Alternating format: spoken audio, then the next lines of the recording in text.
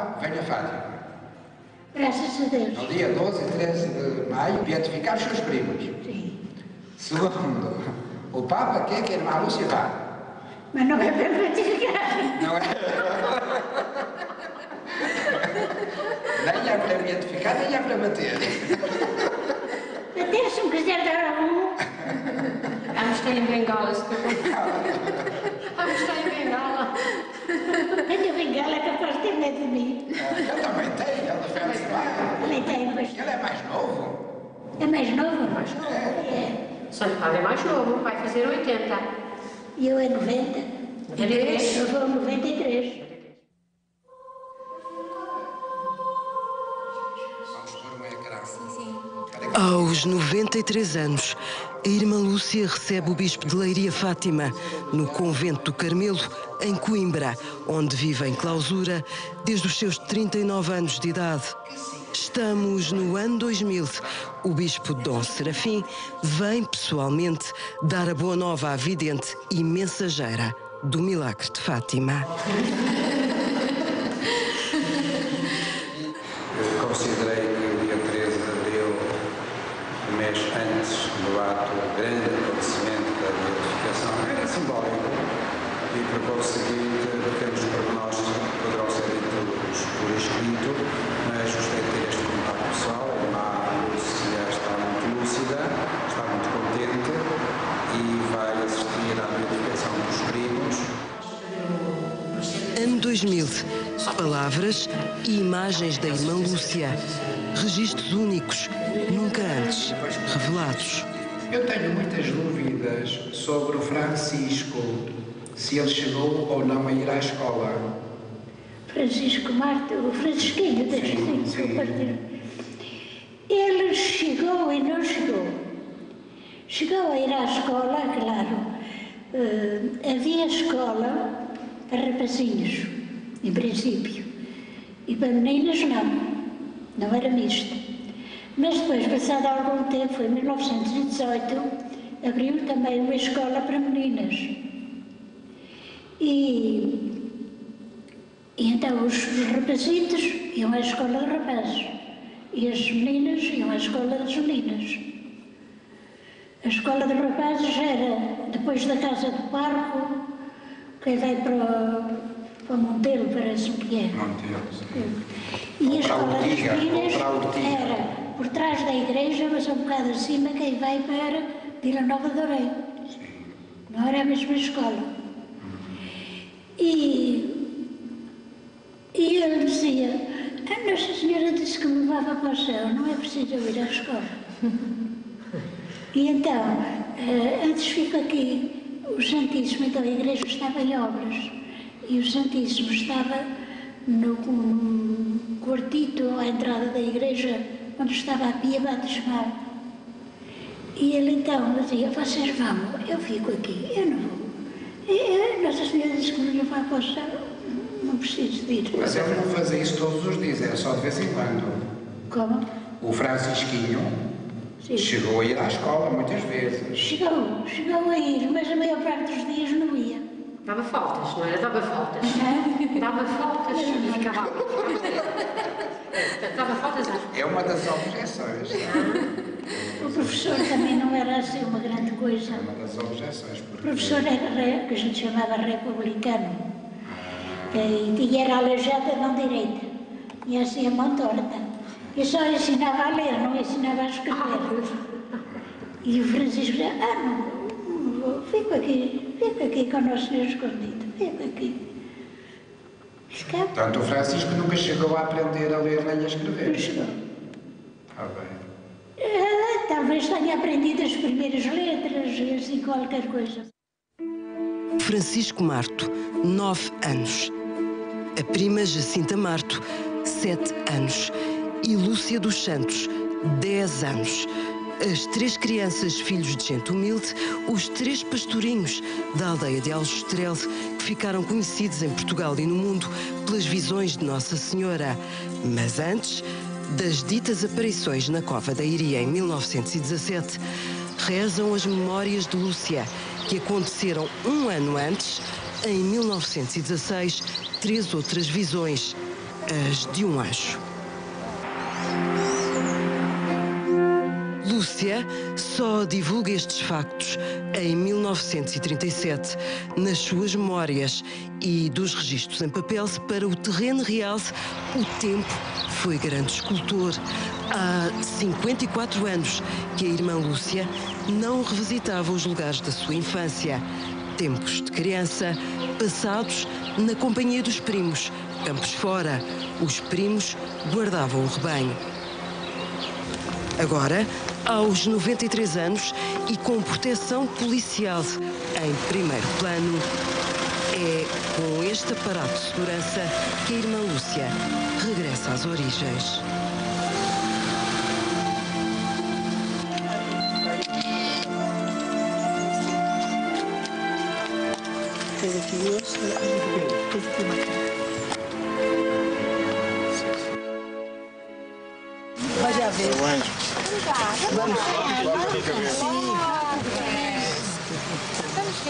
Muito diferente. Diferente, pois é.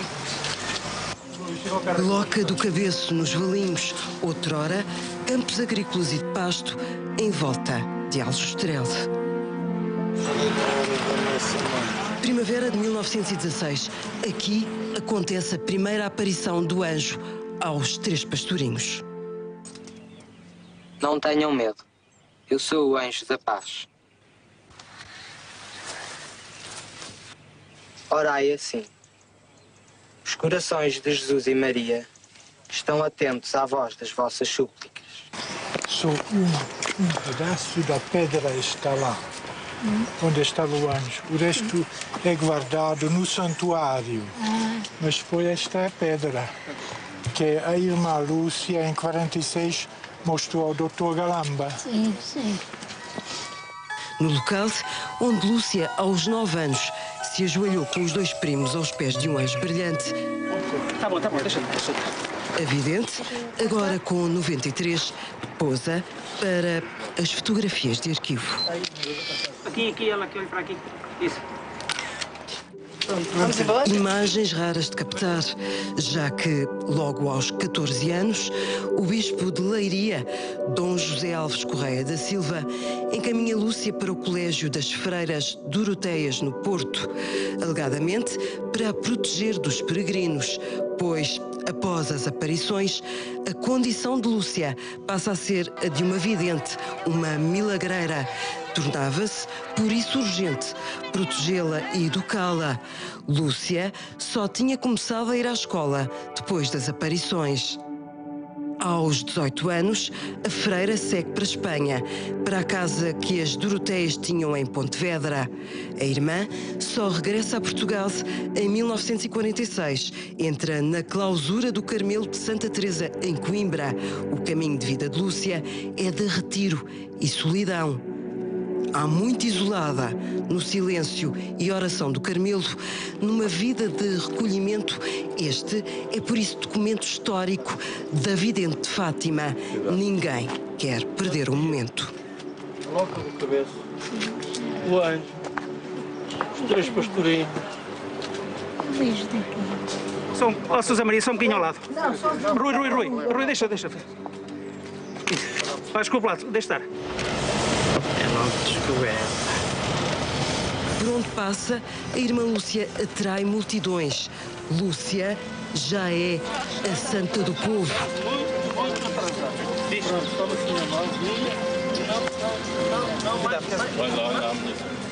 Todos lhe querem tocar. É assim aos 93 anos, foi assim, praticamente uma vida inteira. Tem muitos familiares.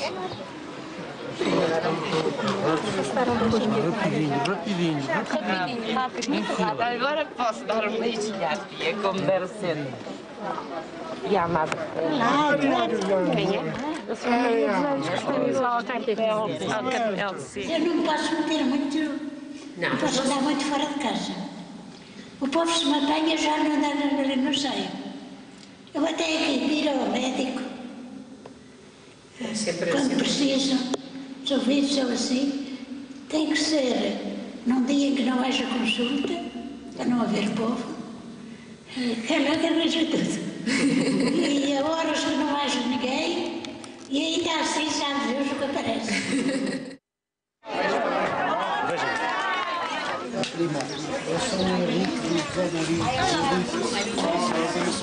Estamos um atraso. Estamos muito atrasados. Meninas, desculpem. Ser rápido. Com as limitações próprias da idade, Lúcia segue a caminhada neste regresso a casa. A irmã revisita as suas raízes. Ali, a casa é ali. Sua casa.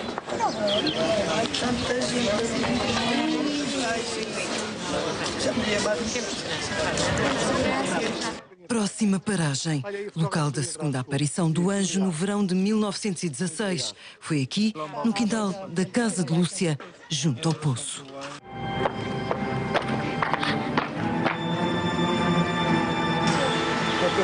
Havia um carreiro todo assim. E nós sentávamos lá em cima, com as pernas estendidas para baixo, e vinhamos a escorregar de lá para baixo até aqui.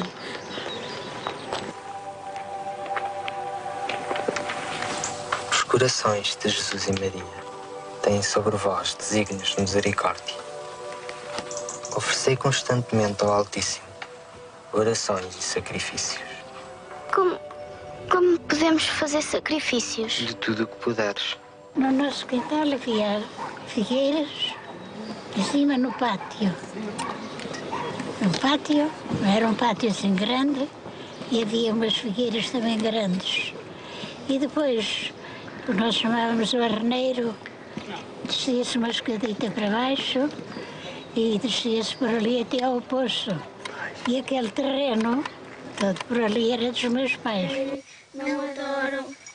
O anjo de Portugal voltaria a aparecer pela terceira vez às três crianças no outono de 1916, na Loca do Cabeço.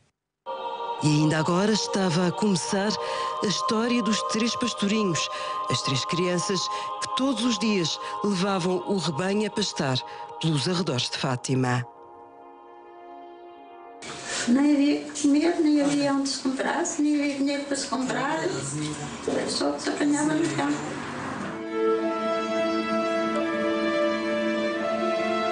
Na pequena aldeia de Aljustrel recuperam-se as casas onde nasceram e cresceram Francisco e Jacinta Marto e Lúcia dos Santos.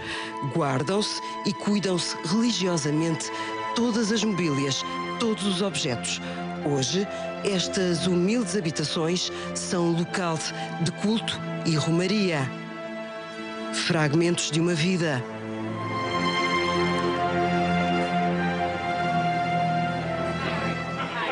A freira carmelita dirige-se agora à casa onde nasceu e viveu com os seus pais. Lúcia era a mais nova de sete irmãos, cinco raparigas e um rapaz. Na cozinha. Cozinha da sua casa. Ou estava a chover, ou estava muito calor e a gente vinha transpirar e assim. Cada um de nós, nestes cabides, tinha uma muda de roupa para mudar e não ficar com a roupa molhada. Dá um bocadinho, eu quero dar uma olhada aqui por. A Glória e a Carolina, a Glória trabalhava com a Teresa na costura. E a Carolina dedicava, não gostava de estar em casa, anda- dedicava-se mais a andar com o pai nos campos. Há também Passagem obrigatória pela Igreja Paroquial a tal, onde o pequeno Francisco Marto optava por fazer gazeta em vez de ir à escola. Olha, uma mais dentro. Obrigado, obrigado. Muito obrigado. Ok. Oh, melhor caminhar desse lado,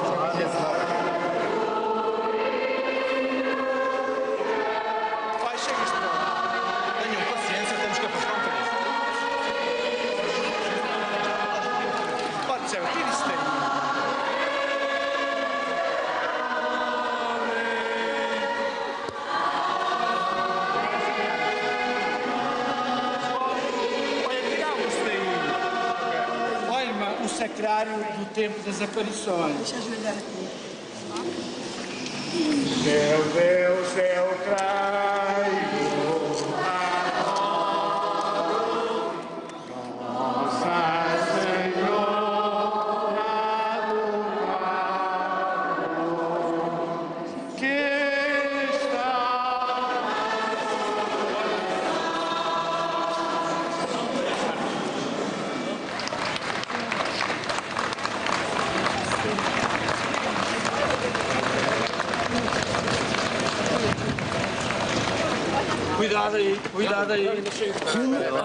Santuário de Fátima. O cenário mantém-se. Ninguém fica indiferente à presença de Lúcia. Rosemary, Rosemary. Cristina. Cristina, olha um jeitinho aí só. Olha aí só um jeitinho. Traz-nos o Carmelo. À Basílica. Jesus apanhada na rua. Não, não, não. É, já está tudo previsto, está tudo previsto, irmã Lúcia. Vai da ambulância, a está fazendo uma pressão da ambulância, mas a ambulância é o melhor, é o melhor avião. Primeira vez que a gente viu uma vez ali, só entre a parte de trás da Basílica e o Carmelo. Com quatro horas. Já estive seis horas. Seis horas. Estive ali parada sem o carro poder andar. O povo e os homens até subiam para cima do carro. É polícia aqui. O outro era, o outro dirige-se agora para a Capelinha das Aparições.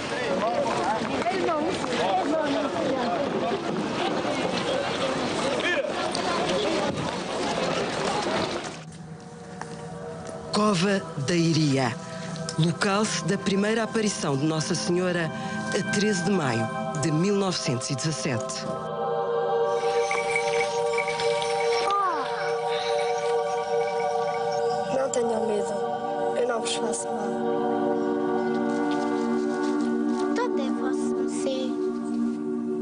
Lúcia dizia que quando viram Nossa Senhora a primeira vez, que ela pensou simplesmente que era uma senhora, uma senhora muito bonita, uma senhora fora do normal, é, é claro, mas uma senhora, tanto que ela dizia que a maneira como se dirigiu a Nossa Senhora, quando ela lhe perguntou o que é que Vosso Mecê me quer, ela disse que esta expressão era a expressão usada na Terra para se dirigir às pessoas mais importantes. E ela percebeu intuitivamente que aquela senhora era importante, mas não percebia que senhora era. Mas a senhora de tal maneira seria real que ela podia confundir com uma senhora, ah, outra senhora, mas simplesmente haveria o facto da luz ou qual- qualquer outra coisa que eles viam que não era uma senhora normal. E, e, portanto isso ficou muito marcado neles. Ai, oh, linda senhora. Oh, linda senhora. Estou mesmo a ver que ainda vais contar a alguém. Lúcia faz Jacinta e Francisco prometerem que não contam nada a ninguém. Mas Jacinta, quando chega a casa, Minha mãe! Oh, minha mãe! Oh, minha mãe! Hoje, na cavataria, e Nossa Senhora que nos prometeu levar para o céu. o fenómeno não foi bem aceite. Ninguém acreditava nas crianças. Queres contar? Tu sabes que podes ir para o inferno por dizer tanta mentira. Se o senhor administrador diz que são os mentirosos que vão para o inferno, eu não vou para lá. Para a Igreja eram coisas do diabo. Para a classe política era obra da Igreja contra os republicanos. Mas o que é certo é que a própria Igreja foi quem se mostrou mais cética na hora de determinar se as visões eram ou não milagre. Só 13 anos depois, o bispo Dom José Alves Correia da Silva emite um decreto formal onde diz que a mensagem de Fátima é verdadeira.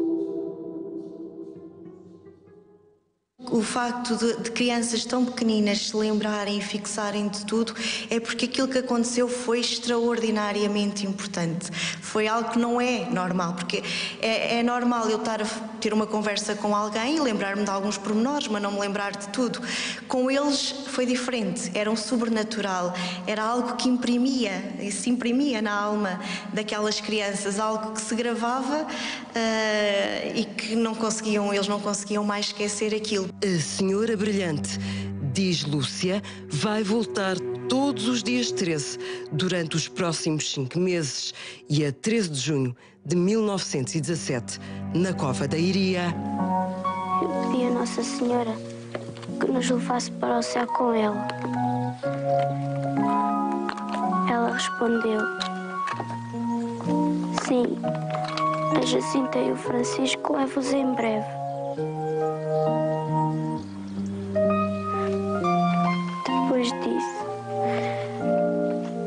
Tu ficas cá mais algum tempo para me fazer conhecer e amar.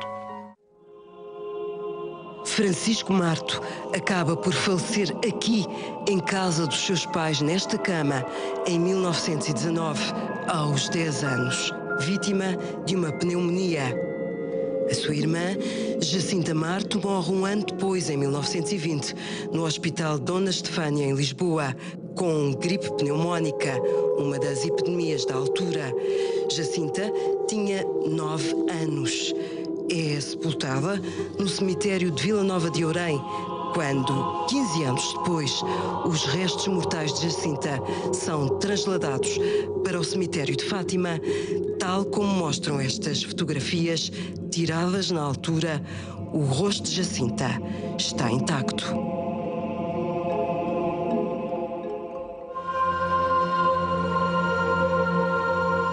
Lúcia e os primos voltam a ter nova visão. A 13 de julho, na Cova da Iria, Jacinta e Lúcia viam e ouviam Nossa Senhora. Francisco só via, mas não a ouvia. Lúcia era a única que conseguia falar com a Senhora de Branco. O que é que a senhora disse? A 13 de agosto, as crianças não marcam presença na Cova da Iria. Lúcia, Jacinta e Francisco são presos e interrogados pelo administrador do Conselho, Artur Oliveira Santos. O republicano e anticlerical quer, à força, arrancar-lhes o segredo de Fátima. Vocês não querem falar? Vou mandá-los fritar em azeite. Um atrás do outro. Três dias depois, os pastorinhos de Fátima são libertados e a 19 de agosto acontece nova aparição, mas desta vez no sítio dos Valinhos. A 13 de setembro, a quinta visão, aqui, na Cova da Iria, local onde foi depois construída a Capelinha das Aparições. Maria, cheia de graça, Senhor é convosco. Bendita sois vós entre É a virada para a Capelinha das Aparições, que aos 93 anos, Lúcia reza. Rogai por nós. Lúcia reza no mesmo local onde, há 83 anos, mostrou a uma multidão o milagre de Nossa Senhora a 13 de outubro de 1917, na sexta aparição. O milagre do sol. O sol! Olha o sol!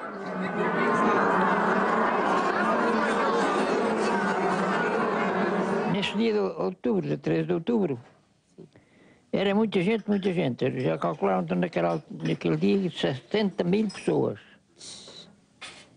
Nós estavam sempre a chegar e a abalar, chegar ali a abalar de, de casa. Sim. E o, o milagre estava anunciado, que havia naquele dia. E eles diziam para a gente, se houver um milagre que pode é verdade, a gente acredita. Se não houver milagre nenhum, vocês trazem aqui o, povo enganado, a gente volta a vocês que batemos todos.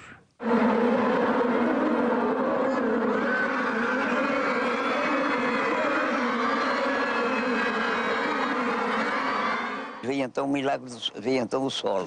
Parou, suspenso no ar, aquela nuvem, e o sol dentro da nuvem começou a desandar.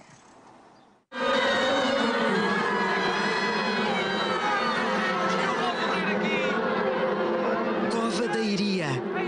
Agora Santuário de Fátima, é lá que o Papa João Paulo II beatifica, a 13 de maio de 2000, Francisco e Jacinta. Uma cerimónia com protocolo. Veio Dom Serafim anunciar nada que Lúcia, a vidente Fátima, não tivesse já calculado e comentado com a família. E esteve cá uma sobrinhita minha, José Maria, que se trouxeram uma, uma duas, eram até duas, eh, netas, pequenas, pequenitas. E disse assim, tiveram a falar disso, e eu lhe disse se precisar de alguma coisa, e nós estamos disponíveis para tudo e tal. E eu disse olha, eu ainda não sei como vai ser, não sei como vai ser o, o protocolo, eu tenho que obedecer ao protocolo. E a pequenina estava aqui, encostada a este grado, a ver que assim, disse assim, oh tia, ainda tenho que levar um protocolo.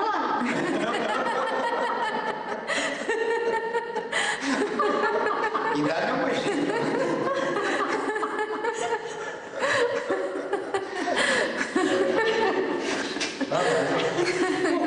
tenho, tenho, tenho. Pai, deixa ele avisando. Aqui no banco ele. Irmã Lúcia, eu quero ver o seu sorriso e as suas palmas quando o Papa declarar bem-aventurados para todo sempre na eternidade Francisco Marto e Jacinta Marto. Eu nessa altura não vou olhar para o Papa, vou olhar para beatos e quero ver a A irmã Lúcia era muito discreta em falar sobre as aparições, mas ao mesmo tempo era uma pessoa muito transparente.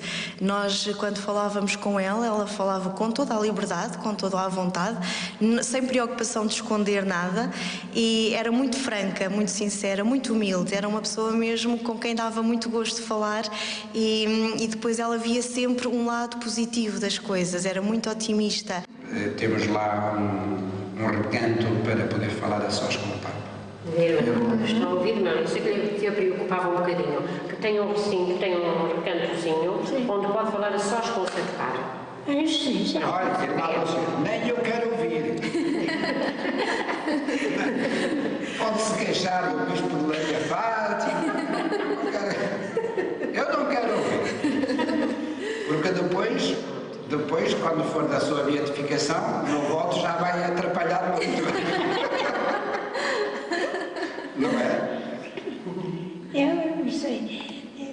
É assim, grandes coisas para fazer ao Santo Padre não tenho, mas gosto de me encontrar com eles sozinhos. É só. E eu peço. É só um bocadinho. Apreciava que fosse aquele ali, ali na Basílica que estivesse, enfim, que estivesse a sós.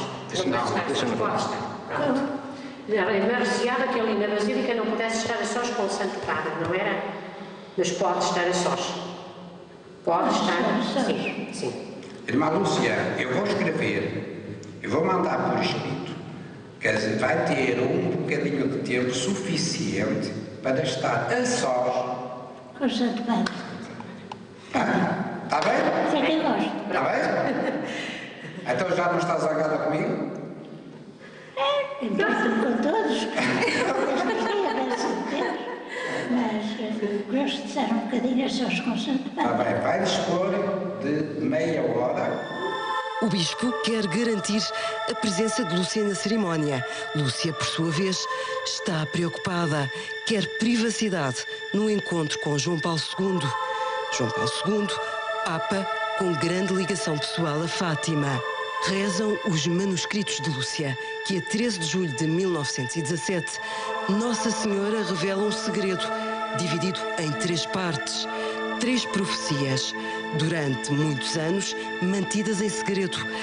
As duas primeiras partes do mistério foram reveladas por Lúcia em 1941. A primeira é a visão do inferno. Nossa Senhora mostrou-nos um grande mar de fogo que parecia estar debaixo da terra. Mergulhados nesse fogo, os demónios e as almas, entre gritos e gemidos de dor e de desespero, que horrorizava e fazia estremecer de pavor. E graças à nossa boa Mãe do Céu, que antes nos tinha prevenido com a promessa de nos levar para o céu, se assim não fosse, creio que teríamos morrido de susto e pavor. E é neste contexto que se segue a segunda parte do segredo, o Imaculado Coração de Maria. Deus quer estabelecer no mundo a devoção ao meu Imaculado Coração. Se fizerem o que eu disser, salvar-se-ão muitas almas e terão paz. A guerra vai acabar, mas se não deixarem de ofender a Deus no reinado de Pio XI, começará outra pior.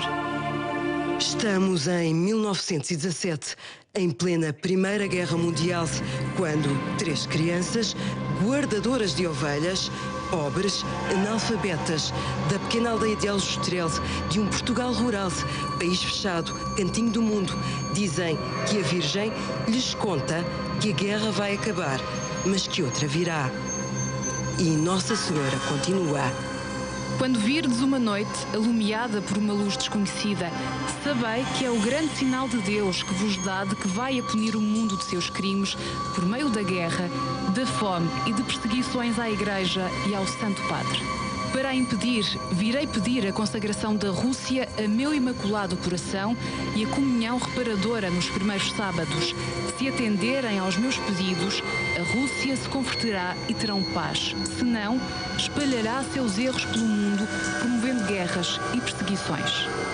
Palavras de Nossa Senhora sobre a Rússia e diz quem privou com a vidente que Lúcia e os primos, quando ouviram falar na Rússia, não sabiam o que era. Pensavam que Nossa Senhora falava de russa, que era a burra da vizinha.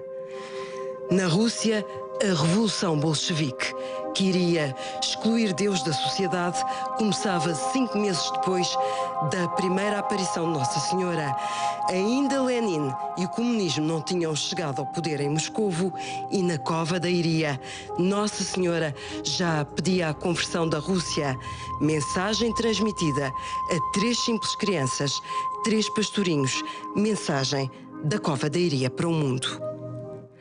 A terceira parte do segredo foi escrita mais tarde, em 1944, quando o bispo José Alves Correia da Silva ordena que de uma vez por todas Lúcia escrevesse tudo, não deixasse nada por contar. O bispo guarda as memórias da vidente em envelope selado e em 1957 deposita o escrito no arquivo secreto do Santo Ofício. Lúcia quer que este envelope só seja aberto depois de 1960 a freira explica que a indicação não tinha sido dada pela senhora de branco, mas que este é apenas um pedido seu, pois Lúcia achava que antes de 1960 o segredo não seria compreendido. Mas eu perguntei algumas vezes à minha tia e ela dizia que o segredo, o terceiro segredo não era para se dizer. O terceiro segredo não era para se dizer. E eu disse-lhe, então então, assim, uh, o testeiro, a tia não disse ao Santo Padre. E ela respondeu, disse ao Santo Padre, mas se ele disser, o problema é dele. O texto da vidente é lido pelos papas João XXIII e Paulo VI. Nenhum dos santos padres revela a terceira parte do segredo. Após sofrer o atentado a 13 de maio de 1981 na Praça de São Pedro, em Roma, João Paulo II, ainda internado, pede que lhe levem o envelope com o segredo. A terceira parte do segredo de Fátima é o atentado ao Papa. Esta terceira parte do segredo é entendida como uma outra profecia, a visão de 1917 que prevê a tentativa de assassinato que João Paulo II viria a sofrer em 1981. Lúcia escreve. Então vimos ao lado esquerdo de Nossa Senhora, um pouco mais alto, um anjo com uma espada de fogo na mão esquerda. Ao cintilar, soltava chamas que pareciam incendiar o mundo, mas apagavam-se com o contacto do brilho que da mão direita expedia Nossa Senhora ao seu encontro. O anjo, apontando com a mão direita para a terra, com voz forte, dizia: Penitência, penitência, penitência. e vimos numa luz imensa que é Deus algo semelhante a como se veem as pessoas num espelho quando se lhe passam por diante. Um bispo vestido de branco, tivemos o pressentimento de que era o Santo Padre. O Santo Padre foi morto por um grupo de soldados que lhe dispararam vários tiros e setas, e assim mesmo foram morrendo, uns atrás dos outros, os bispos, sacerdotes, religiosos e religiosas e várias pessoas seculares, cavalheiros e senhoras de várias classes e posições. Terminada esta visão, disse Nossa Senhora: Isto não o digais a ninguém. Ao Francisco, sim, podeis dizê-lo. 13 de maio de 1981. As balas não atingem nenhum órgão vital do Santo Padre por centímetros. João Paulo II acredita no milagre, o milagre de Fátima. Vestido de branco, que reza por todos os fiéis, é o Papa. Um ano depois, a 13 de maio de 1982, João Paulo II vem a Fátima agradecer à Senhora. Em 1984, o Santo Padre oferece ao Bispo de Fátima uma das balas disparadas pelo turco Ali Aka.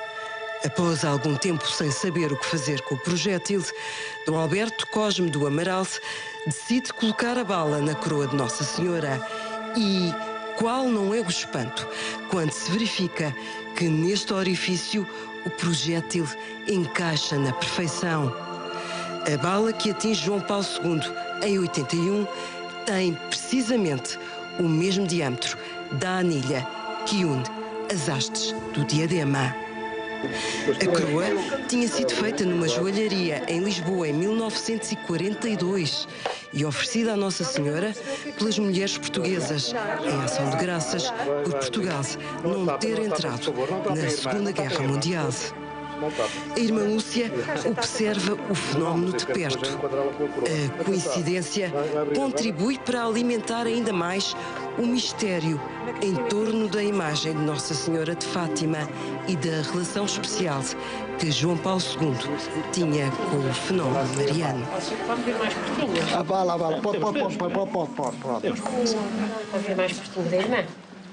Aqui a bala. A bala. Aqui dentro. Aqui por dentro. A bala aí, aqui, Aqui por dentro, por Aqui dentro, por dentro, olha ali por dentro. dentro, olha ali. Olha ali. E aqui. Um só. A bala a juntar aos 950 brilhantes, 1400 diamantes, 313 pérolas, uma esmeralda grande, 13 pequenas, 33 safiras, 17 rubis, 260 turquesas, uma ametista e 4 águas marinhas, todas oferecidas por centenas de portuguesas e colocadas na coroa de Nossa Senhora, fazem as delícias de toda a comunidade carmelita. Entre as companheiras de Lúcia, há reações para todos os gostos. Desde a expressão de alegria extrema ao elevado grau de espanto. Pedras e bala. A combinação perfeita que Nossa Senhora transporta. A bala oferecida por João Paulo II e também a vidente de Fátima tinha já presentes em mente para oferecer ao Santo Padre no dia 13 de maio do ano 2000. Quando é o encontro particular com o Santo Padre, nós temos aí umas coisitas para ele festejar. É o bispo da. Pode-se levar? Pode, ao bispo da sede não precisa de dar nada. Olha, só se for um beijinho. Porque uma vez vim aqui com, com um cardeal, eu vim aqui uma vez com o cardeal do padre, e ele deu-me um beijinho. Mas a irmã recatou-se um bocado. E depois, e depois disse, e depois disse a irmã assim, "Mas agora usa-se. Antigamente não era mas, mas aceitou o beijinho, mas um bocadinho contrariado. Lembra-se? Antes, um, um sacerdote, ou um bispo, ou o que fosse, um padre, ou um homem qualquer, fosse o, o pai, Nem, a- nem o padrinho ou irmão. não beijava uma menina. Uma criança que fosse pequenininha. Temos uma jovenzinha. É sinal de carinho, Não beijava, não beijava. Quer fosse papa, quer fosse bispo, quer fosse o que fosse. Mas eu- O senhor Dom José Alves Correia da Silva, que eu tenho como segundo pai, nunca me deu um beijo. Mas eu como sou primo, olha, Era costume as jovens, as mulheres. olha, irmã Lúcia, como Mas sou... agora beijam toda a gente. É, Eu, quando saio aí fora, que tenho que ir a qualquer parte, eu já vi. É toda a gente dá beijos. Homens e mulheres e, e homens com bigode. Eu digo, bem, não há outro remédio. é outro remédio. Mas eu não vou Quando chego a casa, a primeira coisa que faço é ir ao quarto de lavar a cara. Bem, então eu ia pedir uma coisa que eu já não peço. Porque lá não pode lavar a cara. Olha, eu ia dizer assim, se no dia, da, na hora da beatificação, simbolicamente, em nome do Francisco da Jacinta, e de tanta gente, eu podia dar um beijinho à irmã Lúcia, então não vou. Pronto, é dia de lavar a cara. É melhor não. É melhor não. Estou assim Suporto. Olha que o Santo Padre, o Santo Padre também dá beijos. O Santo Padre já me deu alguns. Pensa que foi aqui na cabeça. Foi aqui. Foi aqui. O senhor não, o senhor não Serafim, já sabe. Pronto, pode fazer. O senhor, o senhor Serafim pode, pode fazer para o Santo Padre. Eu até nessa altura guardei o véu por baixo. Já, desta vez não foi levar. O Santo Padre tinha-me beijado o véu. Eu disse de véu, mas o Santo Padre beijou. E tinha o véu guardado, mas agora não sei o que foi feito. Aos 93 anos, Lúcia vê os primos Francisco e Jacinta serem beatificados. Priva com João Paulo II. Assiste à revelação da terceira parte do Segredo de Fátima. A mim impressiona a seriedade da vidente viva, Lúcia. Eh, Não é teóloga, eh, pode ser profeta, eh, Deus fala através dos símbolos e esta mulher valente, numa coerência lúcida, numa fidelidade aos acontecimentos, aos pormenores, amor à Igreja, amor ao Papa, eh, o amor aos dois primos, eh, depois a transmissão correta, com toda a lucidez dos acontecimentos, dos conteúdos da mensagem, eh, é, no meu ponto de vista, mais um argumento a favor da credibilidade eh, da, daquela força eh, da mensagem, uma força, uma energia interior que se transmite quase por osmose do acontecimento e do testemunho vivencial. A sempre vi fazer um grande esforço para ser uma igual às outras. Tudo o que nós conseguíamos perceber nela era um- uma necessidade muito grande de não, não ter atenções especiais, não passar despercebida, de, nunca reclamava nem exigia nada para ela. Eh, era muito humilde, mesmo muito humilde. E se nós não soubéssemos que ela era a irmã Lúcia, não dizíamos que ela... Eu quando entrei, se não me dissessem esta é a irmã Lúcia, até porque na altura não havia assim tantas fotografias divulgadas, se eu não soubesse que era ela, eu podia olhar para ela como qualquer outra irmã. Ela trabalhava, ela rezava, ia ao refeitório, ia aos recreios, fazia a vida normalíssima de qualquer outra irmã e sempre se esforçou, eh, não só o tempo que eu a conheci, mas sei pelo aquilo que as irmãs dizem, que ela sempre se esforçou por não ter nada de privilégios, nada diferente. Lúcia de Jesus, a religiosa carmelita, a vidente de Fátima, a quem, ainda menina, Nossa Senhora apareceu, morre num dia 13, a 13 de fevereiro de 2005, aos 97 anos, de morte natural. De acordo com a sua vontade, o seu corpo permanece no Carmelo durante um ano. Os restos mortais da freira carmelita são depois trasladados, em 2006, para o Santuário de Fátima. É na Basílica de Nossa Senhora do Rosário que Lúcia, a Santa do Povo, repousa, ao lado da prima Jacinta. O processo de beatificação de Lúcia está agora nas mãos do Vaticano.